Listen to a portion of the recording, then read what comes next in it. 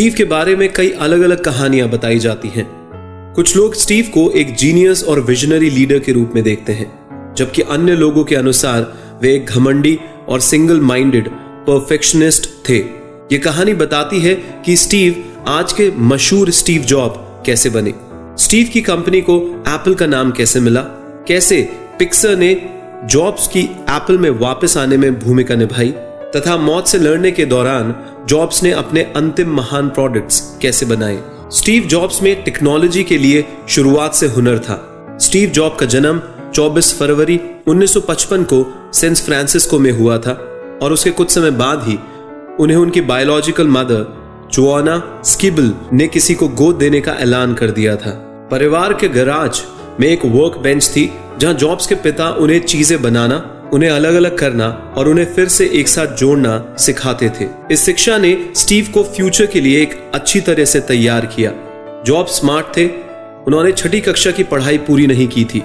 उनका interest naturally maths और science की तरफ़ था। जॉब्स के माता पिता के गैराज में अपने पहले मॉडल एप्पल वन पर काम करना शुरू कर दिया। उन्होंने नई कंपनी को नाम दिया एप्पल दूसरे कंप्यूटर का निर्माण और एप्पल हिस्ट्री की सबसे तेज़ी से बढ़ने वाली स्टार्टअप बन गई। अपनी कंपनी को एक्स्टैब्लिश और एप्पल वन को डिज़ाइन करते समय जॉब्स को अपने जीवन का पर्पस मिल गया।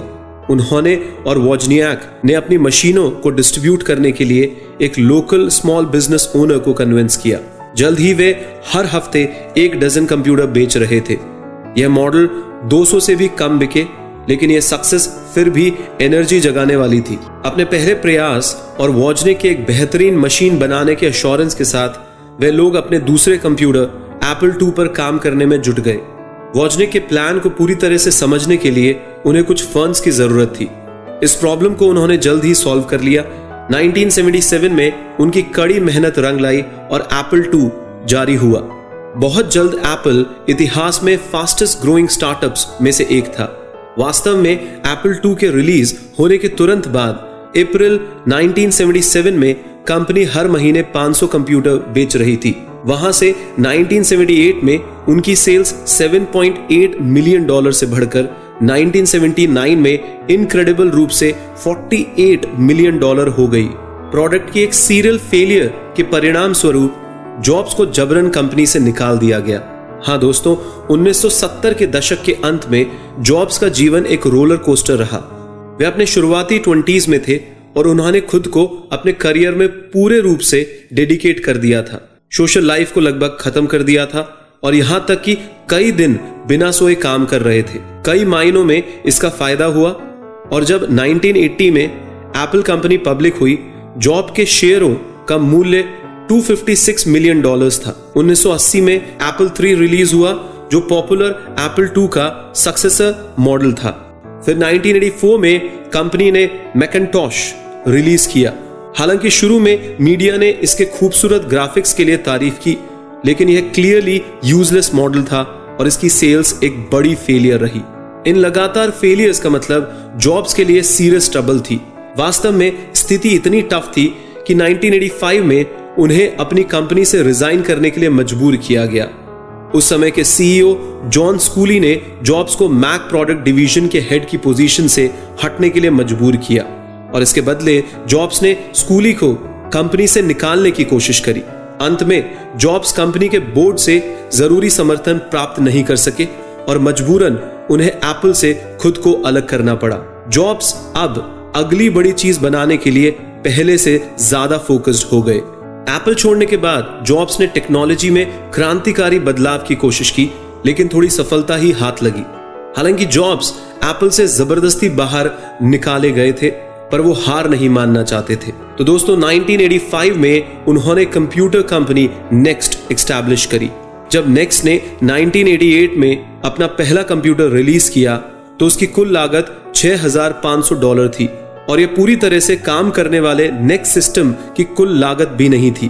पूरे कार्यों के लिए यूज़र्स को दस हज़ार डॉलर के करीब खर्च करने थे। नेचुरली इस कीमत पर प्रोडक्ट के लिए कोई चांस ही नहीं था कि वो खरीदा जाए और उसको स्विफ्टली एक लार्ज नंबर पर बेचा जाए।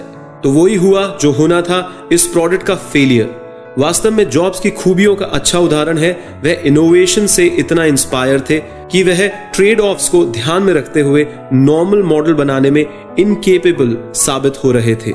लेकिन जॉब्स के पास एक और प्रोजेक्ट भी था। वह पिक्सर के ओनर भी बन गए थे। यह फर्म लूकस फ़िल्म का कंप्यूटर सब डिवीज़न था। जो Star Trek second and young Sherlock Holmes जैसी फ़िल्मों में इनक्रेडिबल वीएफएक्स के लिए जानी जाती थी। तब जॉब्स को यह नहीं पता था कि पिक्सार में उनका अनुभव ही उन्हें एप्पल में वापस लेके आएगा। पिक्सार में सफलता स्टीव जॉब्स को फिर से स्ट्रॉन्ग रोल में लेके आ गई थी। 1997 में एप्पल में वापसी स्टीव जॉब्स कंपनी को ट्रैक पर वापस लेके आई। 1990 के मिड डेकेड तक कंपनी एक डूबते जहाज़ की तरह थी। एप्पल की पाइपलाइन में कोई प्रॉमिसिंग प्रोडक्ट नहीं था और वह अपने ऑपरेटिंग सिस्टम को मॉडर्नाइज करने में फेल हो गई थी।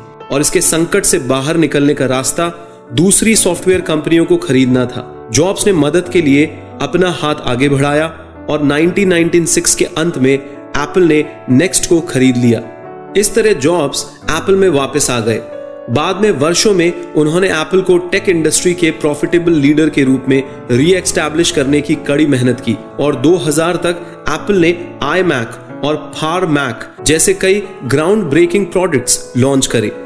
कंपनी वापस टॉप पर जा रही थी। 2003 में स्टीव जॉब्स ने कैंसर से मुकाबला किया।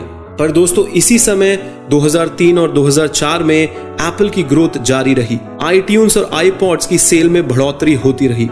आईफोन की रिलीज़ ने मार्केट को बदल दिया। तो यह क्लियर रूप से कुछ अलग था। कई स्टैंडर्ड्स में यह दुनिया का पहला सही स्मार्टफ़ोन था। फुल साइज़ टच स्क्रीन ने आईफोन को वास्तव में एक अलग कैटेगरी में खड़ा कर दिया था। एक और सेंस में आईफोन आईपॉड से एक नेचुरल प्रोग्रेस था। यह एक फ़ोन एक आईपॉड और एक कंप्यूटर का कंबाइंड और ब्यूटीफुली डिज़ाइन प्रोडक्ट था। तो एप्पल पहले से बेहतर कर रहा था। लेकिन यही जॉब्स के बारे में नहीं कहा जा सकता है। उनका कैंसर कभी नहीं गया और उनका स्वास्थ्य कम होता चला गया। लेकिन इस फैक्ट के बावजूद उनकी बीमारी ने कभी भी एप्पल के डेली बिजनेसेस को ज़्यादा प्रभावित नहीं किया और मौत की संभावना को भी नकारा नहीं जा सकता था। 2009 की शुरुआत में उनका लीवर ट्रांसप्लांट हुआ था। लेकिन इसका कोई फ़ायदा नहीं हुआ और मंगलवार 5 अक्टूबर 2011 को स्टीव जॉब्स का निधन हो गया। जॉब्स के जाने के बाद उनके लंबे समय से सहयोगी और मित्र टिम कुक ने एप्पल के सीईओ के रूप में टुक ओवर किया और उन्होंने जॉब्स की विरासत को आगे बढ़ाया। विकास, सफलता, क्रिएटिविटी और इनोवेशन की विरासत को।